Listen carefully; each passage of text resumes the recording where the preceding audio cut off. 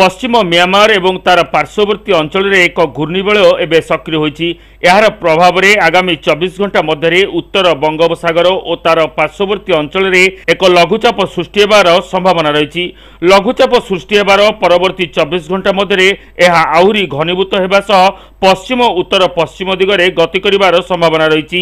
ଏହାର ପ୍ରଭାବରେ ଶୁକ୍ରବାରଠାରୁ ରାଜ୍ୟରେ ବର୍ଷାର ପରିମାଣ ବଢ଼ିବା ସହ ଆଗାମୀ ପାଞ୍ଚ ଦିନ ପର୍ଯ୍ୟନ୍ତ ରାଜ୍ୟରେ ବର୍ଷା ଲାଗି ରହିବ ବୋଲି ଆଜି ଭୁବନେଶ୍ୱର ପାଣିପାଗ ବିଭାଗ ପକ୍ଷରୁ ସୂଚନା ଦିଆଯାଇଛି। ଭୁବନେଶ୍ୱରରୁ ବିଶ୍ୱଜିତ ଦାସଙ୍କ ରିପୋର୍ଟ।